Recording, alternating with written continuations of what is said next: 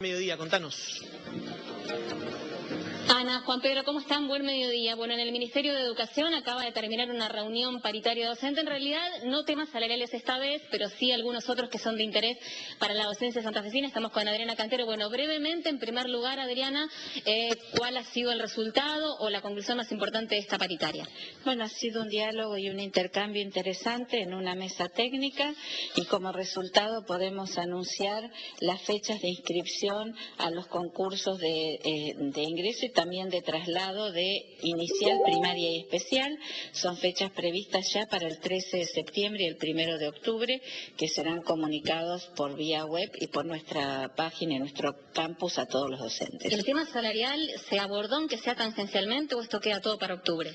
No, en realidad los gremios han hecho el planteo de la convocatoria salarial. Nosotros sostenemos que estamos cumpliendo los plazos de la paritaria pautada en marzo y que mantenemos el compromiso de en unos días más estar llamando a la discusión del trimestre final del año.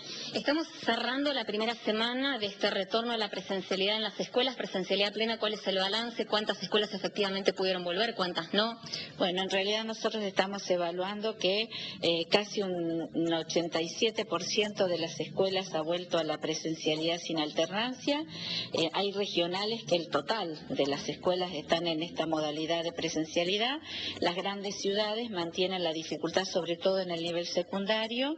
Estamos trabajando con ellas. Hay algunas escuelas que obviamente por la, relación entre la matrícula y el espacio que tienen, tienen dificultades para implementar el nuevo protocolo y en esos casos hemos trabajado mucho para mejorar la frecuencia de la alternancia entre burbujas, de manera de que todo sea traducido a una mejora de la presencialidad en Santa Fe. Supimos, sobre todo los primeros días de la semana, que hubo escuelas que intentaron volver a la presencialidad plena, pero tuvieron como que retroceder y volver a las burbujas porque en la práctica no resultaba.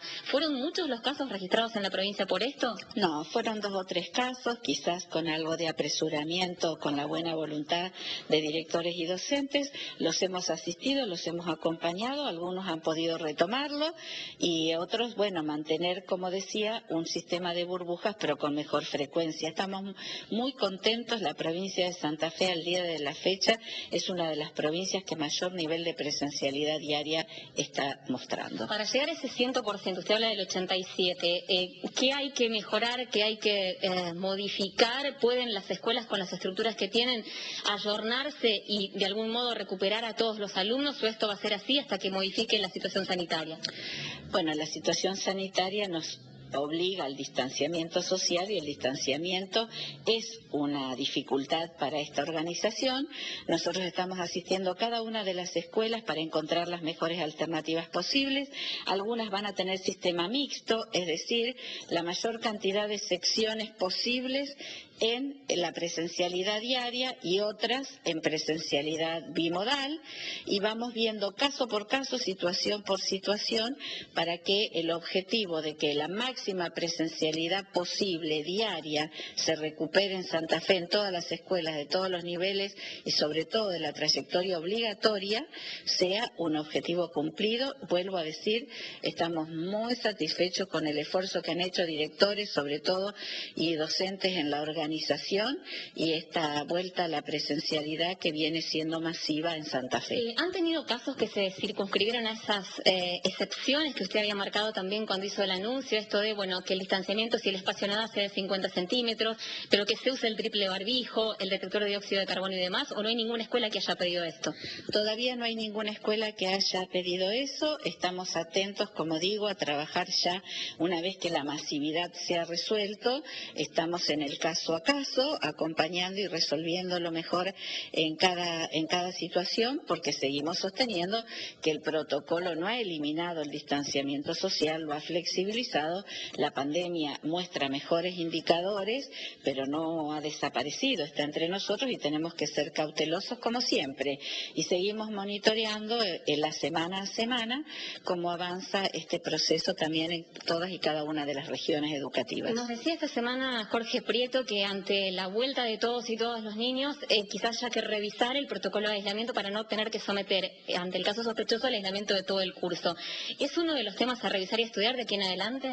Sí, claro, vamos a estar trabajando con nuestras autoridades sanitarias esas miradas que seguramente van a incidir en las respuestas del 0800 Escuela, en las orientaciones que se tengan y precisamente por eso una de las indicaciones que tiene el protocolo, si ustedes se fijan, es que los chicos ocupen siempre el mismo lugar en, el, en el espacio, que los tengamos identificados. Así que bueno, vamos a ir avanzando paso a paso, como lo hemos venido haciendo. Creo que este gran logro del sistema educativo santafesino tiene que ver también con todos los cuidados previos que tuvimos, las indicaciones y los procesos graduales que hemos ido implementando. Ya para ir cerrando, Adriana, hoy es día de anuncio de medidas. ¿Hay alguna que tenga que ver estrictamente con el plano educativo?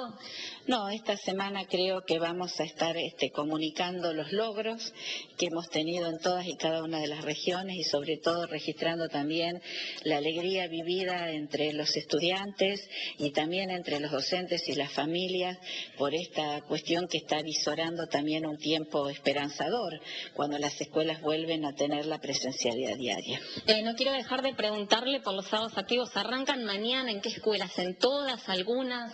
Mañana arrancamos con 254 escuelas secundarias estatales de las zonas urbanas, eh, con los chicos de tercer año y empiezan nuestros sábados activos, como habíamos dicho, en el mes de septiembre y estamos también implementando todas las medidas de asignación de recursos para las otras líneas del acompañar que habíamos hablado, el egresar sin adeudar, el egresar que va a recuperar chicos que se han ido del sistema desde el año 2016 sin eh, obtener la certificación final y también las tutorías y acompañamiento de las trayectorias más debilitadas, tanto a nivel primario, inicial como secundario. ¿Solo escuelas públicas en este estado activo?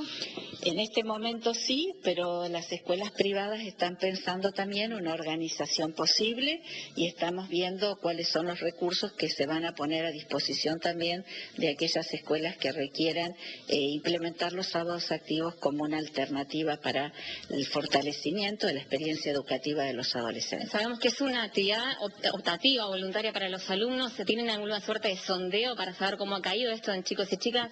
Bueno, nosotros lo vamos a tener el lunes al sondeo y vamos a ver cuál fue la participación.